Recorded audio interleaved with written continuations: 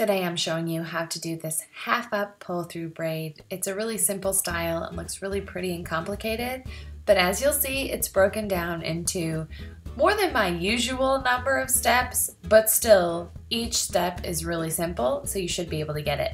You want to start out by grabbing a top section of hair just around the crown of your head, hold it up with one hand, and then slip some duckbill clips in to the hair that's left below that way you don't pick it up in the clear elastic while you tie it off, like you see here.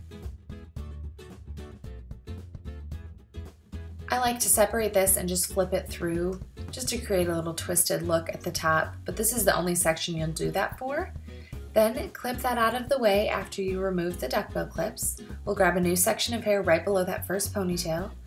Tie that off in a clear elastic as well. You want these elastics to be secure but not too tight and then stretch it out a bit so you've got some uh, space to work with.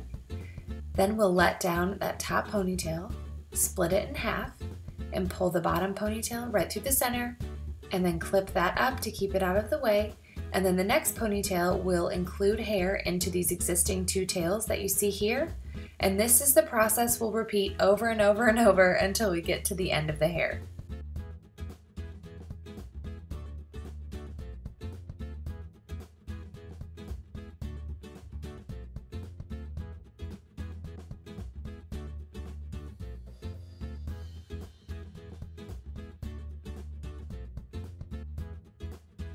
Once you get about three elastics in, try and just pick up hair from the right side of your head. That'll help this whole braid go on an angle and shape around your head versus you picking up everything that's left down, which you certainly could do, but then it would be not a half up style and more of just a pull through braid look.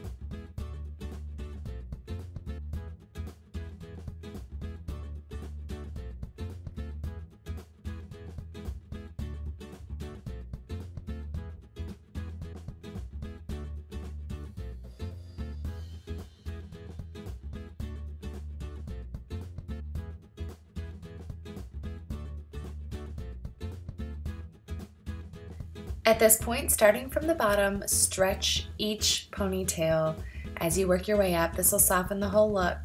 And you can really use your fingers and sort of like massage each section to loosen all the hair up to cover the elastics really well so those aren't too obvious when you're all set.